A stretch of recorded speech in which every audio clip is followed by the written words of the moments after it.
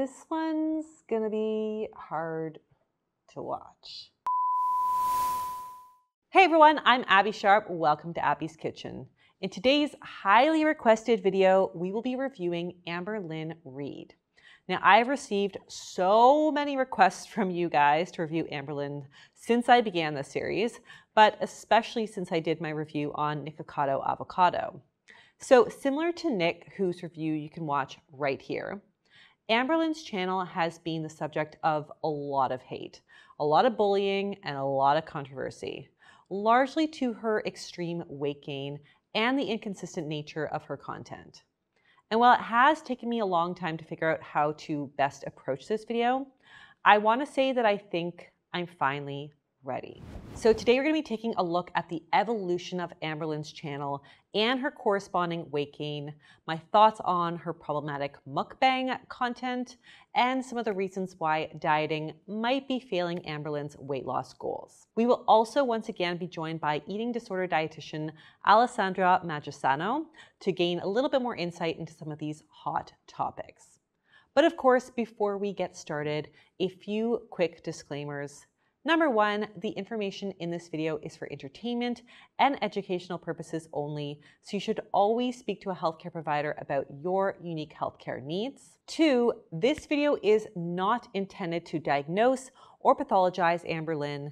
The intention of this video is to simply discuss the themes on her channel in an educational and compassionate format. Three, don't forget to please be kind in the comments both here and on Amberlynn's channel. Four, a trigger warning that some graphics and discussions may be disturbing to some of my viewers particularly those who may have battled or are battling disordered eating.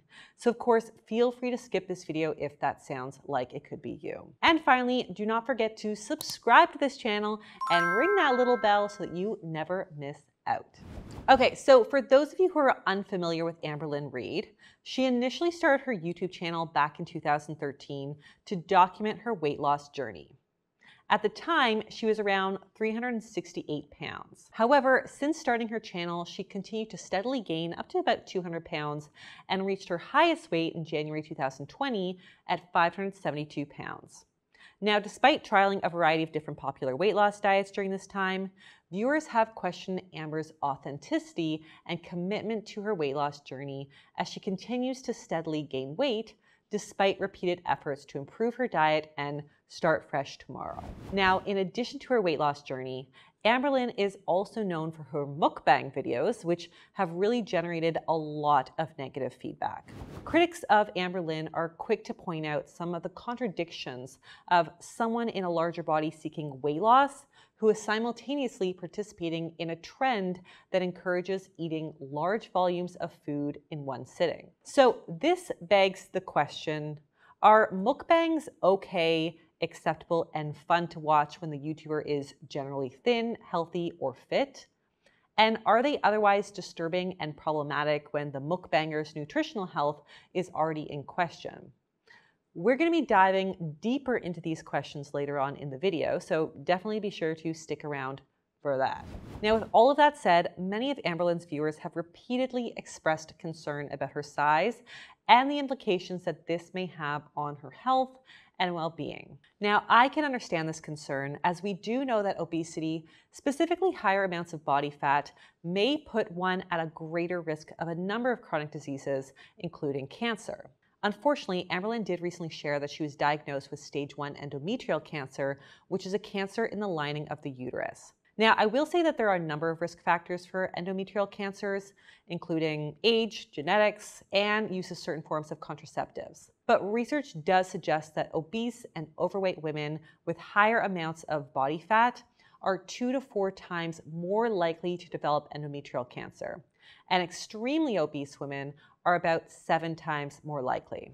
One explanation for this is that excess fat tissue produces higher amounts of estrogen, which has been associated with not only endometrial cancer, but also breast and ovarian cancers. Another possible explanation is that individuals with higher body fat often have increased blood levels of insulin and insulin like growth factor 1, which may promote the development of some cancers, including endometrial cancer.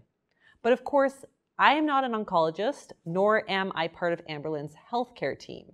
So obviously, I cannot speak to the root cause of Amberlynn's diagnosis. But what we can say, just by looking at the research, is that there may be an association between higher body fat and the development of some cancers. Now, with that said, since sharing her diagnosis, Amberlynn has also had a hysterectomy to surgically remove the uterus. So I do want to, of course, wish her a full and safe recovery and remission from her surgery and condition. Now, moving on to her diet, I do want to start by acknowledging that Amberlynn has shared that she suffers from binge eating disorder and overeating. As usual, it is not my place to speculate about whether or not this is true. And like I said, I'm not here to diagnose or pathologize Amberlynn, but rather the purpose of this video is to review the content on her channel at face value in a compassionate and educational format so as to discuss some reoccurring themes like dieting and emotional eating. With that said, I really can't confirm whether or not Amberlynn's What I Eat in a Day videos are an accurate representation of what she actually consumes in a day. But we will talk more about binge eating disorder and dieting later on. For now, I do want to take a brief look at what Amberlynn's typical day of eating might look like at the time of filming this video, which, by the way, is subject to change by the time that it's live. Let's start with her breakfast and a quick trigger warning. I'm going to be giving some suggestions on how to help optimize satiety for Amberlynn's weight loss goals.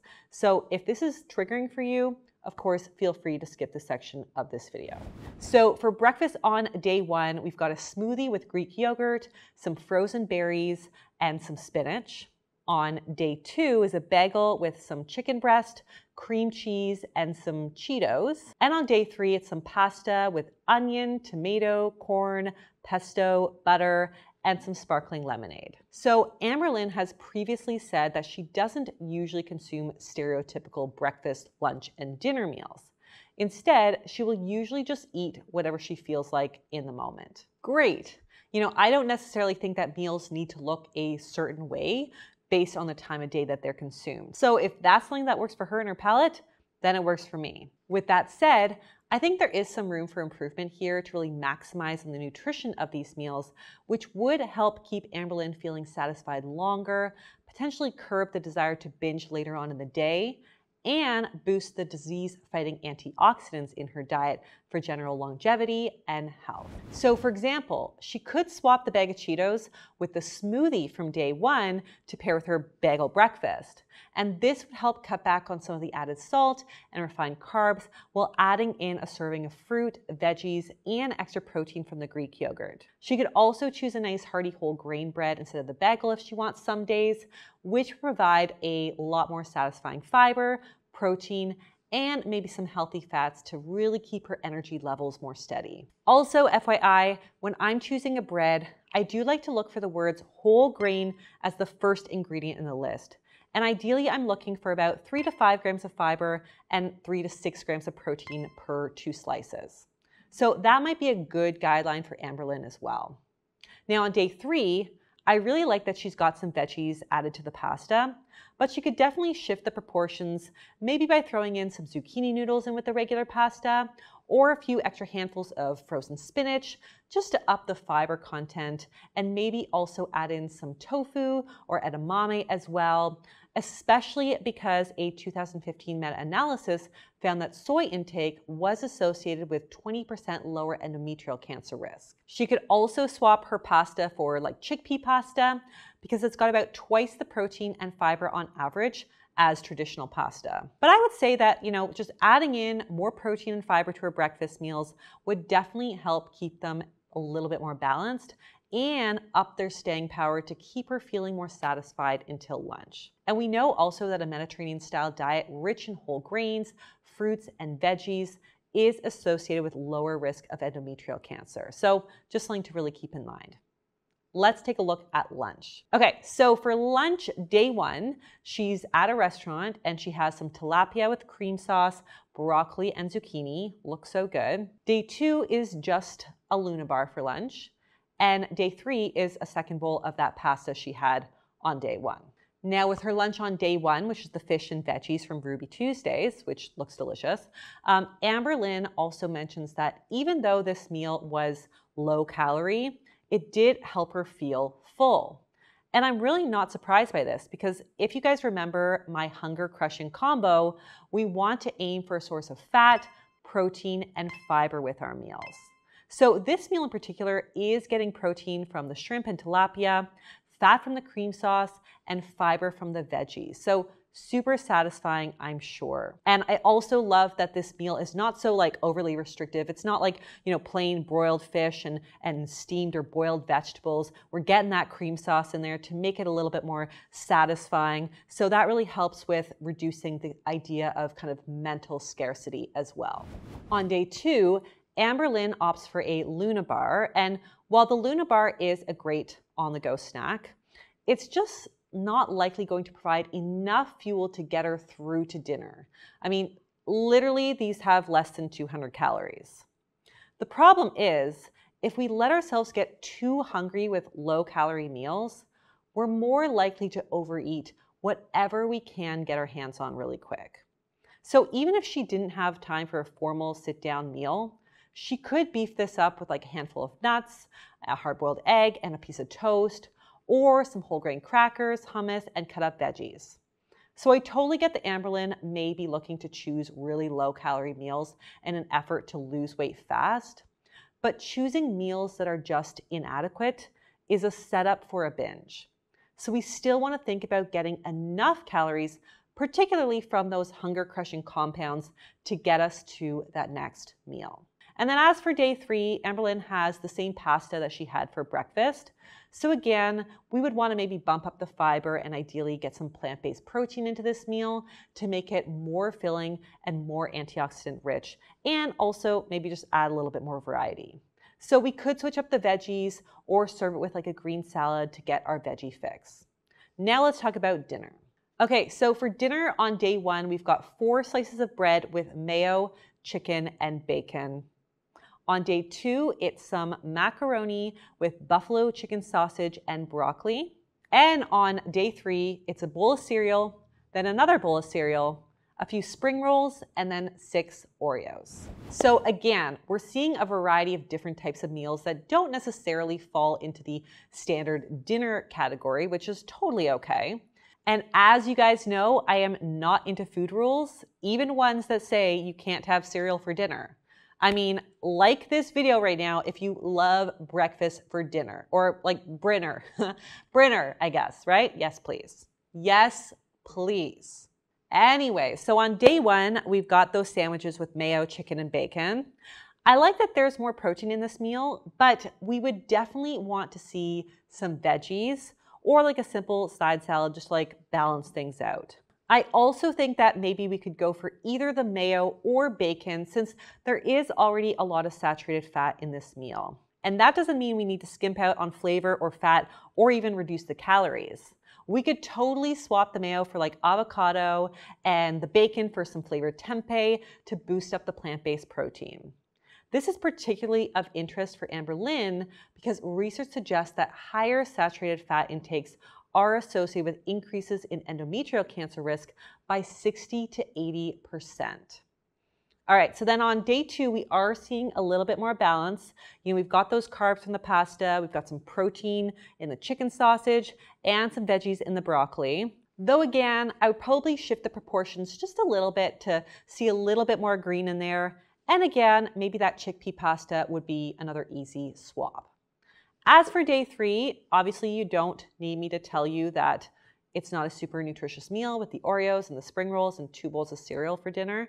Um, and Amberlynn herself actually mentions that this was a bad eating type of day, which resulted in a bit of a binge that occurred off camera.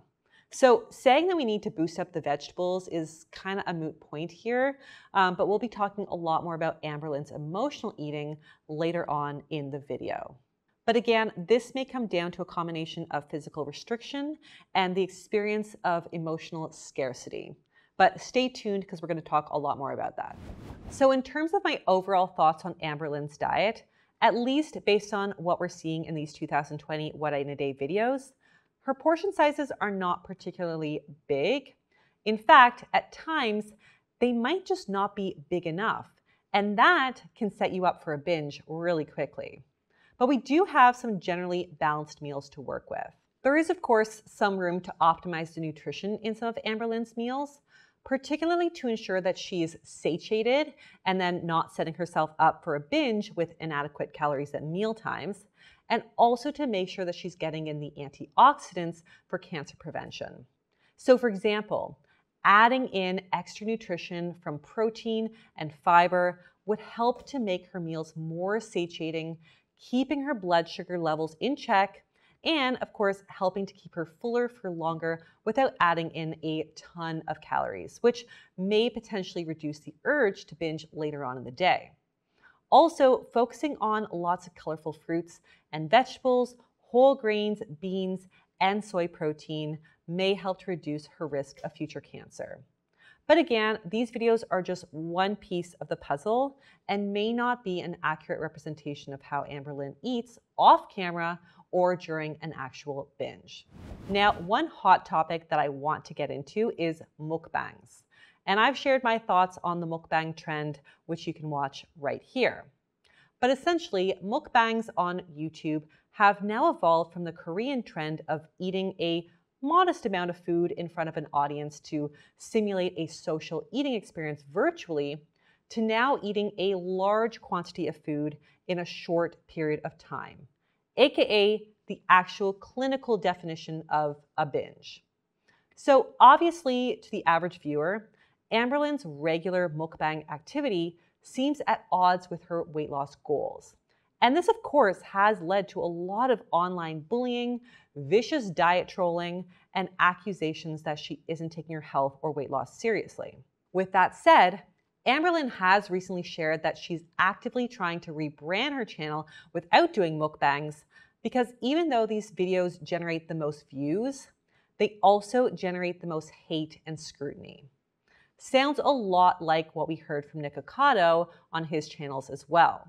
Now, what I do want to point out, however, especially in contrast to other infamous mukbangers like Nick, is that the volume of food in Amberlynn's mukbangs pale in comparison to the norm.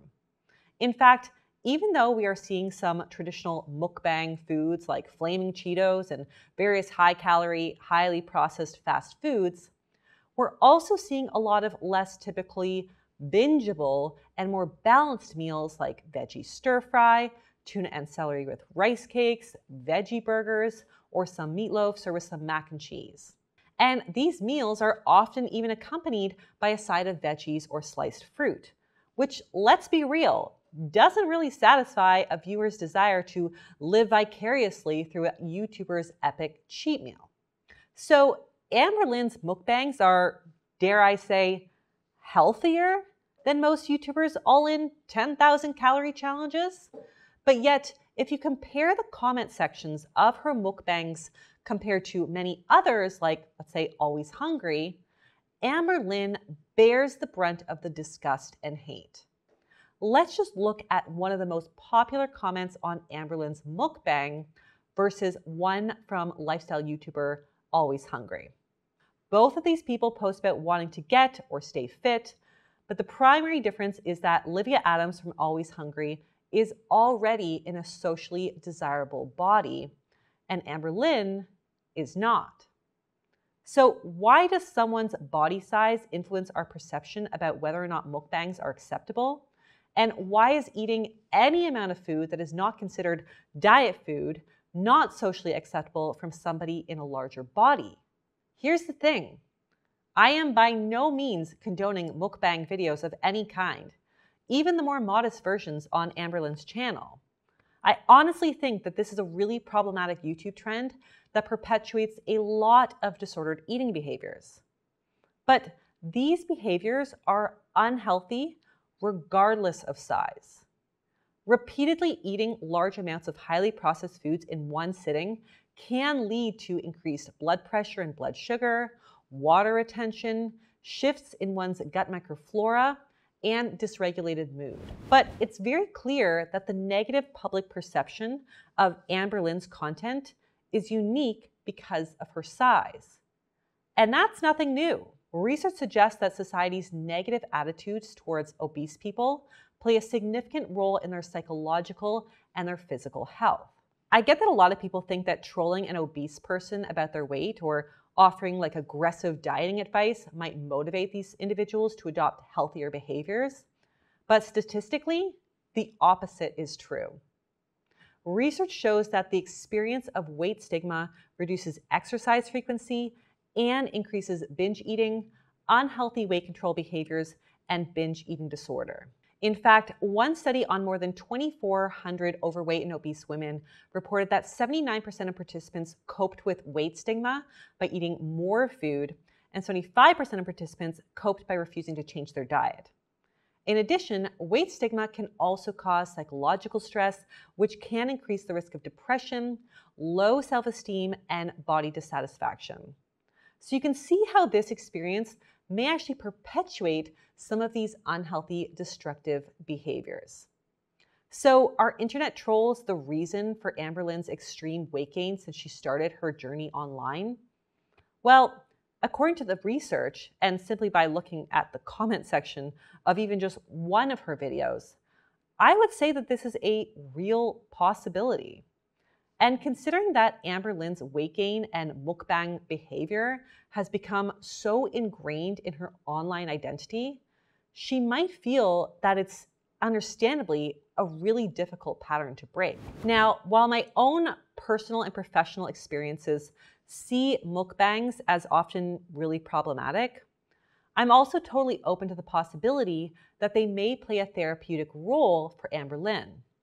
In one of her videos, Amberlynn mentions that eating in front of the camera just actually increases her awareness around what she's eating and allows her to eat at a more slow pace and a more mindful pace compared to how she might eat off camera, which is usually in front of the television. Because of this, she states that she actually often ends up eating less on camera compared to when she's eating when nobody's watching. And there's a few reasons why this might be. For one, it may be that her audience gives her a sense of accountability with her weight loss goals.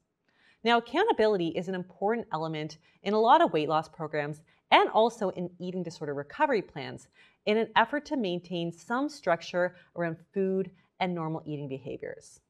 In the context of disordered eating behaviors, which is what I would characterize some of the mukbang binging to simulate, the feeling of being watched by followers on YouTube is kind of similar to what might happen in real eating disorder recovery programs where meals are supervised by a member of your treatment team. We also know that most eating disorder behaviors happen in private. So it is statistically unlikely that she would invite us, the viewer, to witness an extreme binging episode. Now, the other potential benefit of the mukbang format is that Amberlynn herself suggests that eating for the camera encourages her to eat more mindfully and slowly, both of which are healthy eating practices. So, research suggests that eating slowly without distractions allows your body more time to release satiety hormones. In contrast, eating while distracted, like watching TV or on your phone, can lead to faster eating and eating past the point of fullness. In fact, one study found that TV watching while eating increased food intake by up to 71%. Research has also shown that mindfulness can be a useful tool to reduce emotional eating and the frequency of binge eating episodes, both of which Amberlynn claims she struggles with. So, one study found that obese women doing mindfulness exercises decreased their binge eating episodes from four times a week to one to two times a week. That is powerful stuff. So I can't say that mukbangs are a hindrance to Amberlynn's weight loss efforts. And it's very possible that the blatant weight stigma and trolling in the comment sections of these videos play a larger role. But is an online troll really the only cause of such a dramatic shift in weight over time? So I want to talk about some of the other potential contributing factors to Amberlynn's public weight gain. According to Amberlynn, she's been classified as overweight for as long as she can remember and was just 11 years old when she first went on a diet. So since then, she says that weight loss is kind of on her mind 24 7, and she really doesn't know what life is like without worrying about her weight. She even has a video where she lists 100 reasons why she wants to lose weight, which includes things like reducing her risk of disease, as well as engaging in seemingly normal experiences like dancing, traveling, and walking on the beach. So, despite people's skepticism of Amberlynn, I think it's pretty clear that weight loss is something that she strongly desires, and she recognizes that her weight gain does have implications for her quality of life. So, why is weight loss so hard for Amberlynn to achieve? Well, according to the literature, it can be really challenging for a lot of people to achieve and maintain weight loss long term. Even the most liberal research tells us that most people who engage in intentional weight loss behaviors, on average, lose and maintain no more than 6 to 10% of their weight. So, for somebody who is overweight or obese, they will likely remain in these categories after their maximum realistic amount of weight loss is achieved. We also know that there's a high rate of weight regain after a period of significant weight loss, also known as weight cycling. So, one study found that individuals typically regain 30 to 35% of their weight a year later and will often regain most of the weight or more within five years. This may be one reason why Amberlynn regained the weight that she lost, those 89 pounds, and continues to gain more. This is not to say that it's impossible to sustain long term weight loss. You can find tons of examples of people who do it every day. And I do believe absolutely that it can be done. However, the data tells us that maintaining significant weight loss for over five years is more of an exception rather than the rule. With that said, Obesity is a complex issue and cannot simply be resolved by eating less and exercising more. If it were that simple, we probably wouldn't be seeing Amberlynn going on a diet after a diet to lose weight only to regain it back. Also, putting oneself on really restrictive diets in an effort to lose weight often sets one up for a future binge. And Amberlynn herself has confessed that stages of restriction and deprivation often trigger her to binge and overeat. This is why the new obesity guidelines suggest that rather than suggesting somebody just eat less to weigh less, it's more important to focus more on the root cause of an individual's weight gain and healthy behaviors that they can actually sustain. Now, one of the many reasons why just eating less doesn't always work is that food is often used as an ineffective coping mechanism to soothe negative emotions. So, Amberlynn's documentation of her emotional eating episodes are often peppered with depressive episodes and follow along the typical cycle of guilt, shame, regret, and fear of losing control. This is why one of the first steps to dealing with emotional eating is to help identify and differentiate physical and emotional hunger while working with your therapy team to really find other effective coping mechanisms to help manage those emotions. I talk about this in a lot more detail in my video on emotional eating, which you can watch right here. However, I just want to summarize the differences between emotional hunger and physical hunger. Physical hunger develops gradually, whereas emotional hunger comes on usually pretty suddenly or abruptly, often accompanied by some kind of really strong emotion. Emotional hunger often also can drive you towards one specific food, whereas physical hunger often is a little bit more flexible and more open to what's available. Physical hunger often has a clear endpoint, so you're usually able to experience the onset of fullness and take it as a cue to stop eating. Whereas when you're eating out of emotional hunger, it's often more difficult to feel satisfied or full. And when you don't, it often triggers further feelings of guilt and shame. Now, before we dive deeper into these topics with Alessandra, I want to talk about Amberlynn's current weight loss plan since reaching her highest weight of 572 pounds in January. So, in an effort to continue to lose weight and with the weight loss goal of 400 pounds, Amberlynn has flirted with Weight Watchers, Noom, and intuitive eating. But outside of diet attempts, her focus has been on curbing her binge eating episodes all of which have collectively helped her lose close to 90 pounds. Now, it's important to mention that for Amberlynn, these episodes are not just benign binges that can, you know, easily be overcome and forgotten about at the next meal or snack. There can actually be a difference between a binge and what Amberlynn has been diagnosed with, which is binge eating disorder. So, to dive more into these topics, I've once again invited my colleague, eating disorder dietitian Alessandra Magisano, to provide her insight and expertise on the subject. Thank you again for joining me, Alessandra. Oh, thank you. Thank you for having me. I'm so happy to be back. So, what is the difference between a binge and binge eating disorder? Okay, so great question. The main difference between the two of them is essentially clinical criteria uh, or diagnostic criteria. So, a binge eating disorder um, is um, a mental health condition that can be technically diagnosed and it follows very specific uh, quantitative measurements. So, things like eating a certain amount of food in a specific amount of time. Generally larger than someone would eat uh, comparably to, to, to you. And it also involves some qualitative measurements like feeling guilty, feeling uncomfortably full, eating when not hungry, things like that. But it's more quantitative in terms of recurrent episodes of binge eating at least once a week, they say, in the past three months. Whereas a binge, first of all, could be on something other than food. Mm-hmm. And it's more subjective in nature. It, it can be more subjective. So someone can eat a cupcake and feel like it's a binge, and that mm. is completely valid. So that's the main difference between them. They're very similar, really almost identical. The only difference is one kind of is clinical and checks off boxes, and the other one can actually be more subjective and takes into consideration more qualitative uh, components. Amazing. Good to know. Um, and regardless of diagnosis, what are some strategies to help kind of curb overeating and those binge cycles? The main number one strategy for both is meal regulation. So, whenever someone is experiencing either overeating cycles or binge eating cycles, it is because of some element of chaos, what we call chaotic eating, or eating that either doesn't satisfy enough physically or emotionally mm. or mentally. So we want to look at it's widely known that binging comes from some element of restriction. That's thankfully now pretty well known.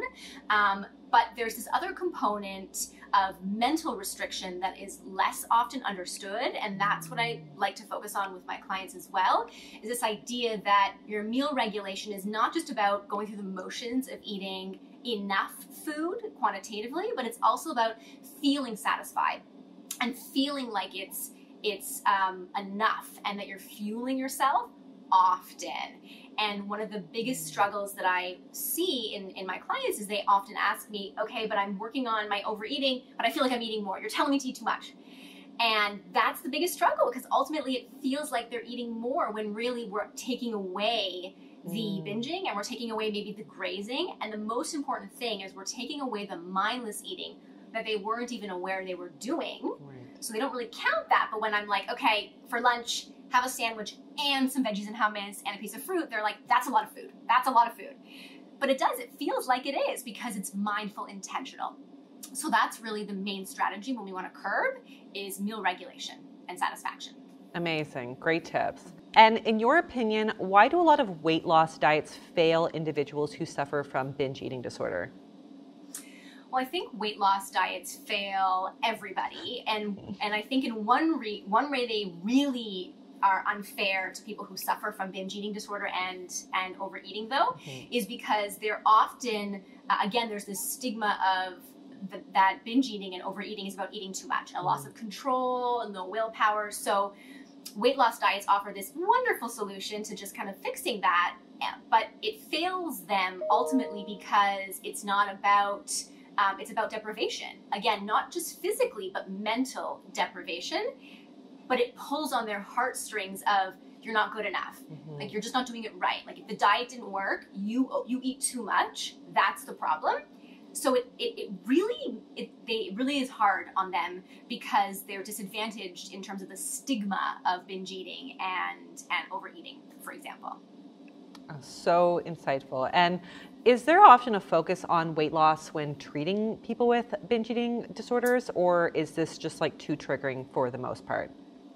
Definitely too triggering. It's very much um, counterindicated. So we would mm. never uh, focus on weight loss at all, at, at, least at the beginning stages of treatment. So just like how we would with someone who was suffering from anorexia or, or bulimia or any other type of, of eating disorder, we wouldn't, weight loss cannot happen in recovery mm-hmm. in terms of that can't be the focus of the goal because often remember it's the symptom right like wanting weight loss is a part of the symptom it doesn't mean it can't happen or can't be addressed, but it needs to happen within the process in order for it to to, work. Otherwise, it is too triggering and it gets in the way because then it's just about okay, but like it, the progress is about weight loss, which um, negates all the other indicators that we try and um, focus on when it comes to recovery. And how could somebody theoretically with binge eating disorder um, who is at a higher weight is it possible for them to safely lose weight without feeling restricted? And how would that happen? It is possible. The number one way it happens is time. Mm-hmm. Um, it takes a long time and you have to go through the process. Mm-hmm. So it's uncomfortable, but they have to go through the process of understanding where the binge eating came from to begin with. Um, because oftentimes what I find is when you cut, when they start the process, it's like, okay, weight loss, that's what I, I, I don't feel comfortable in my body. I want to lose weight. And I hear them and I validate that. But once we go through the actual process of recovery and healing the relationship with food and therefore body, mm-hmm. their idea of weight loss changes. So it's not necessarily that they completely give it up or that we don't touch it again, but it, we change together the definition of that. We might focus on, okay, well, what does weight loss mean for you? What does health mean for you? Is it about a size. Oftentimes, those kinds of things are what they would say at the beginning. Mm. It's about a jean size, or it's about looking a certain way in clothes. When when you go through the process, it, the definition changes to something a little bit more holistic, mm. and that's how it can safely be done. Because then their mindset is shifted to something much healthier than than just a, a body size mm. alone. So it's it can be done safely. It just has to be done over time and um, with the right unpacking along the way. And so, could somebody with binge eating disorder ever get to the place of being able to eat intuitively? Absolutely. I see it all the time. It it's one of the most amazing things that can happen from binge eating disorder that is like pretty chaotic in eating. You can go and eat really, really intuitively. It just again takes time and trust because ultimately it's a relationship that's that's broken and we just have to heal it. And once your relationship with your body is healed and you practice. That's the other thing I tell my clients. You've got to practice. It's not perfect. You're going to have days where you don't eat intuitively because, you know, you're busy at work and you know you need to eat and you're maybe not really hungry but you know you have to. That's not really intuitive but it kind of is because you know you need it in the bigger scheme of things.